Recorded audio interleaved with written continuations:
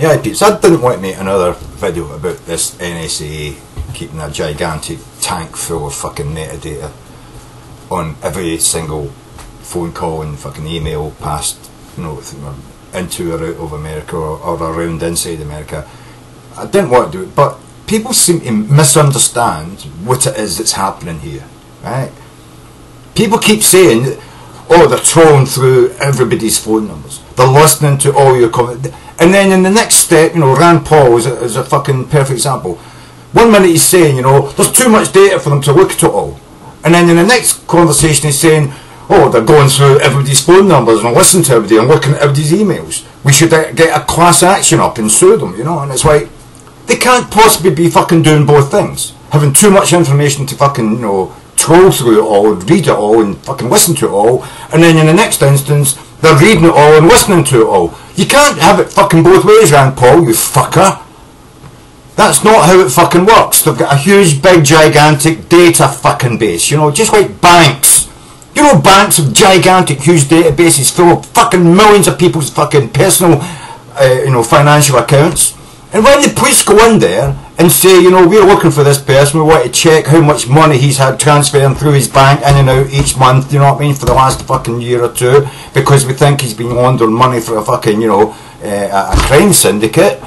They don't go in there and the bank says, well, here's the database, and they go in and look at everybody's fucking money records. They're not looking at yours or his or the other person next door or your neighbour. No, they go in there and they've got fucking something there in their hand. They've got a fucking account number and a name and maybe some other fake names the cunts used and they type them into the database and it goes in there and it pulls out that information and they look at that information. They're not looking at every bit of fucking information on that database.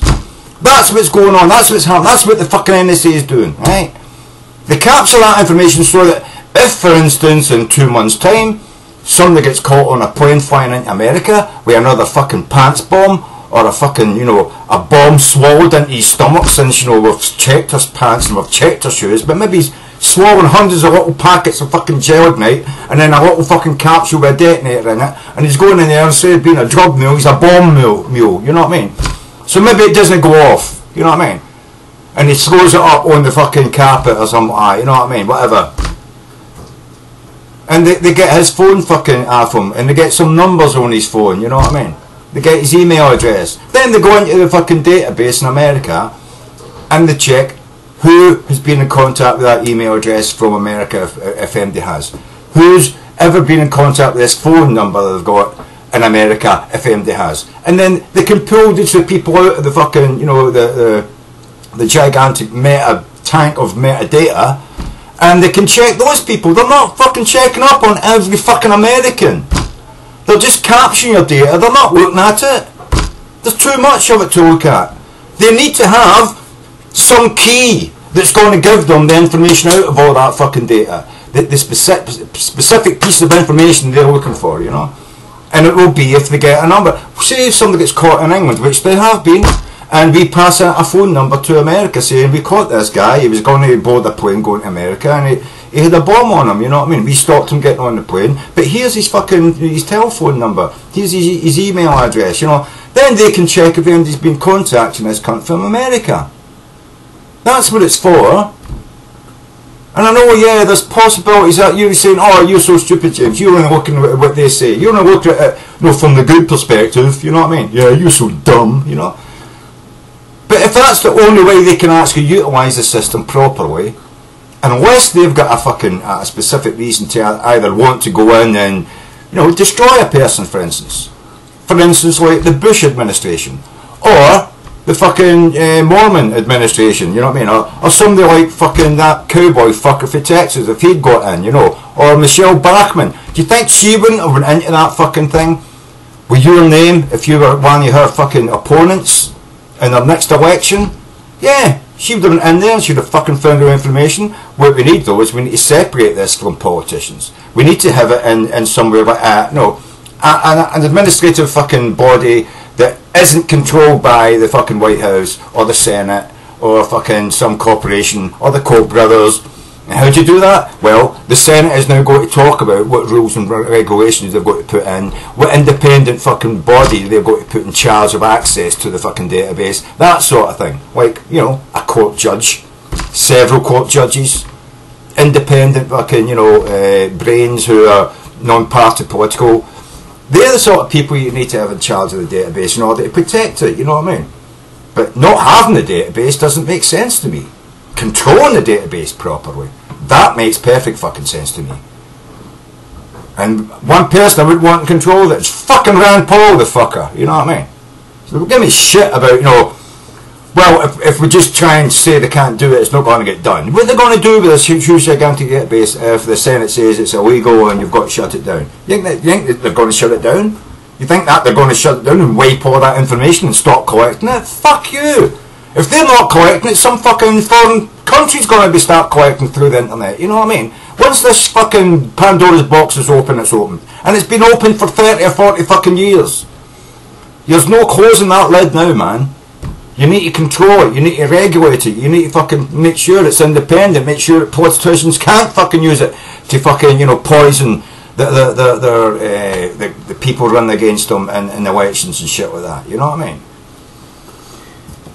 It's like everybody says, who watches the watchers? Well, you've got to put in levels of watchers who watch the watchers and levels of watchers who watch the watchers who watch the watchers until you get a, a, enough of a, a, bunch of people that somewhere in there you're going to get a Julian Assange that, that will fucking tell you when it goes wrong. We need whistleblowers, man, you know what I mean? I love the idea of this guy who's, who's sitting in Hong Kong who fucking spat this out, man, and you know, and let people know about it. But he's as fucking paranoid about the fucking shit as everybody else. He seems to think it's only ever going to be used for bad, you know? I think a system could be set up where there's always the opportunity for it being used for evil, but basically it's there for, for the good, you know what I mean? That's the only thing I, I can see. You know, there's no sense in just trying to destroy it. Because all they'll do is they'll move it and hide it somewhere, bury it in a fucking desert somewhere, under a dome with lots of fucking, you know, people who don't give a shit. And who, when the, the next president comes in, who's a fucking evil bastard, turns around and says, you know what, I want to use this. Now Nixon comes in, I want to use this to destroy my enemies, you know what I mean? They turn around and say, well, perfectly okay with me, you know what I mean? Just give us all a raise, you know what I mean? We'll make sure that none of the underlings will just type in the fucking codes and know what's going on. We'll get you the information and you can destroy the fucker. We need to have regulation in place to stop that from happening. You know what I mean? And, and, but to try and say, let's just destroy it, let's stop it from happening, let's stop them from collecting it, they're going to collect the information. They'll just develop the technology to take it without putting a wire straight in. Shit, America was listening into fucking, um, uh, what do you call it, Russia during the Cold War. Do you know how they did that? They snuck a submarine in there and sat over the fucking the, the, the underwater fucking communication lines in Russia. And electronically fucking sucked the fucking information out of it without even tapping into the fucking wire. They didn't do that till later on. They put a, an actual fucking thing on the wire. But before it was just a submarine sitting over it really close with electronic equipment which could fucking read the, the, the pulses of fucking information going through the wire.